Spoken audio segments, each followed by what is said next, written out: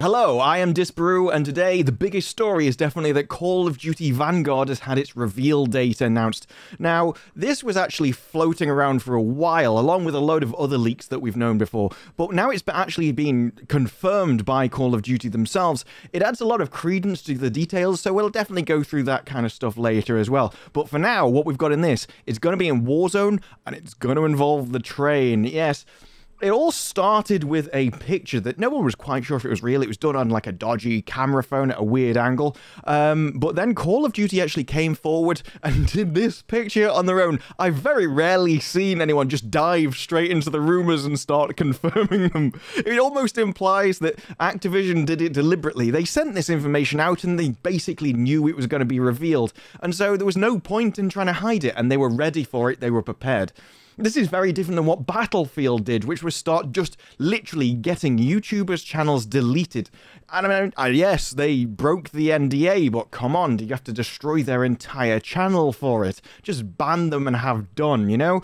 Um, but Call of Duty definitely took the better PR route with it and started making memes.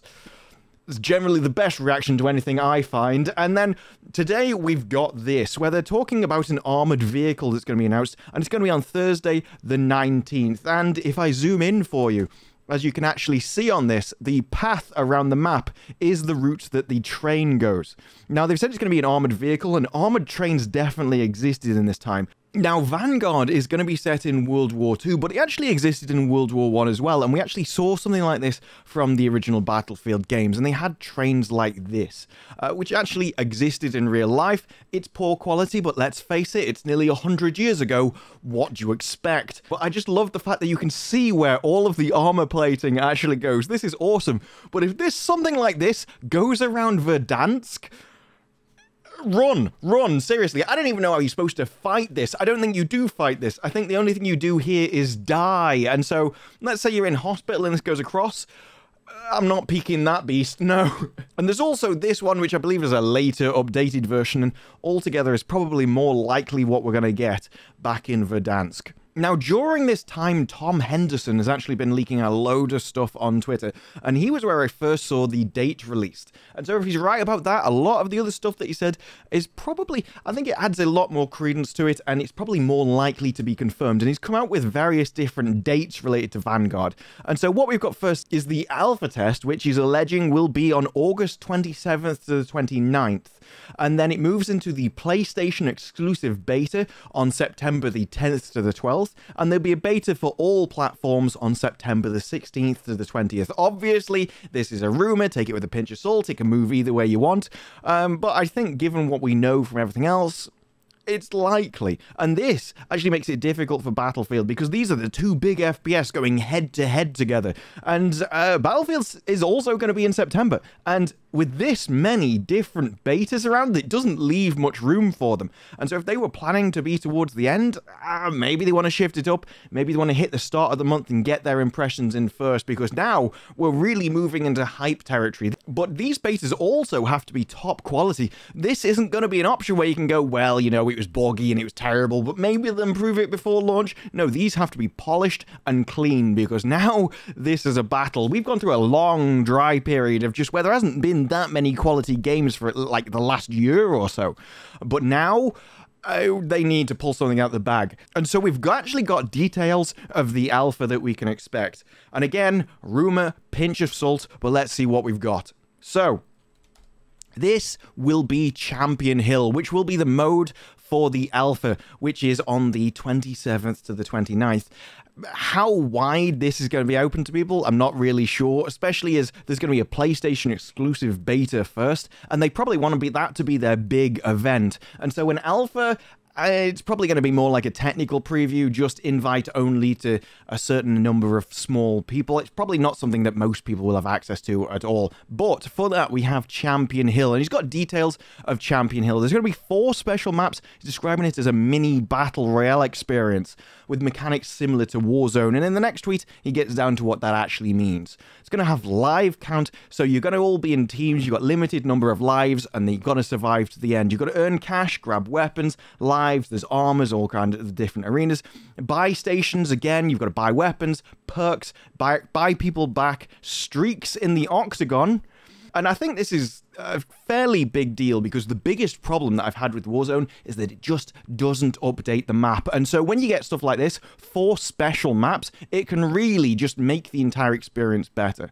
Because when you make one big map, it doesn't matter if you don't see it all. Eventually, you're going to get to the point where it's just all the same. And just even if it's a smaller map, just having it rotate out definitely gives a different experience, definitely adds more variety to it when you don't know what you're going to get. And you can build up tactics for these different areas one of the problems that I have with Warzone is just I actually don't like a large part of it. All the sort of the top area and the right hand side for me, I just want that to go. It's all big and open and it's not really my kind of fight. I like pushing people in close areas. It's why I like Rebirth so much. And so when you get down to four special maps, they can be designed with so much more care. They don't need big open areas in between all the different maps that you've stitched together. So you won't end up with these just dead end zones which don't really go anywhere. I kind of like the idea of mini battle royales. And I know a lot of people might not see it as that big a deal. It might not uh, it might not seem like that big a deal. They may not see the difference between that and Warzone.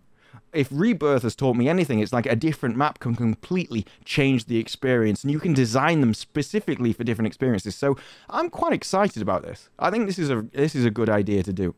And when it comes to Warzone, when it comes to actually changing the map, he said that the current number of 6v6 maps will launch is 16. And that's actually a massive number of maps. That's far more than I thought they'd kind of do. But if you're going to do a new Verdansk map, you actually need a lot of maps because Verdansk is just a load of multiplayer maps that they've stitched together. And so if they want to do a new one, especially if, as as Tom Henderson has said in another tweet, they're going to replace the map with a new one and it's going to be literally 30% bigger to make space for uh, new vehicle mechanics or larger player numbers, which is what I'm hoping for personally, then you need a load of new maps. They're just going to stitch new maps together again to make that new map. But if they want it to be larger, they're going to need a load of new stuff. And I think this is a good idea overall.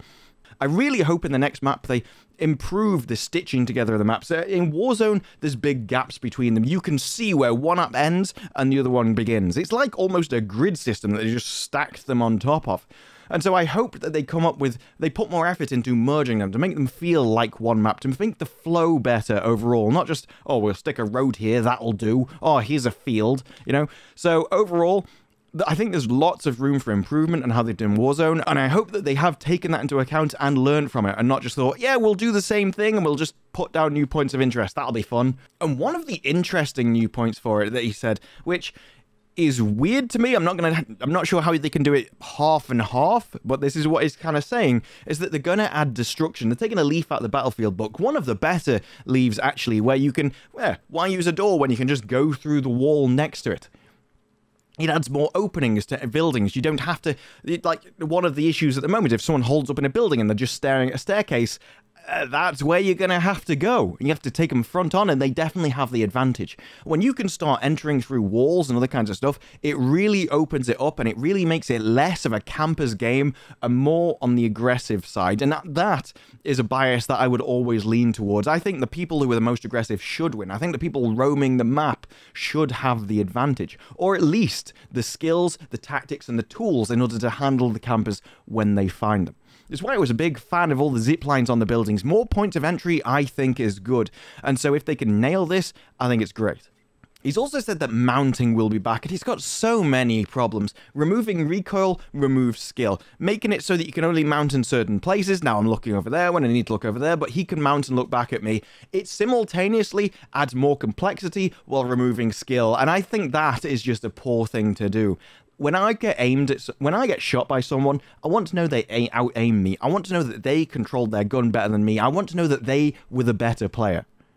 And when you have things like mounting, it just removes a lot of that for me. And I don't think it just adds any kind of satisfying mechanic to the game. And so, while I'm excited for the new COD, while I definitely think they need to add it, while the uh, whole anti-cheat scenario definitely needs to be added in as soon as possible, they're saying that they're going to wait for Vanguard before they add it. I think this is a mistake. I think the second that thing is done, add it in. In fact, I don't even care if it's perfect. I don't even care if it doesn't detect people very accurately. If it detects one guy, add it into the game. As long as it's not detecting people who aren't cheating, that's all I care about This is a feature that should not be a sales point for your game, and that seems to be how they're going along with it. If they're going to wait for Vanguard before they add it in, then that is a mistake. Now, we have learned that they are adding in a feature to Warzone, uh, like just an hour ago, that adds to the kill feed when they've banned someone from your game for hacking, rather than just saying they've disconnected. Letting players know when cheaters have got banned is always a good thing. More information for players is always a good thing.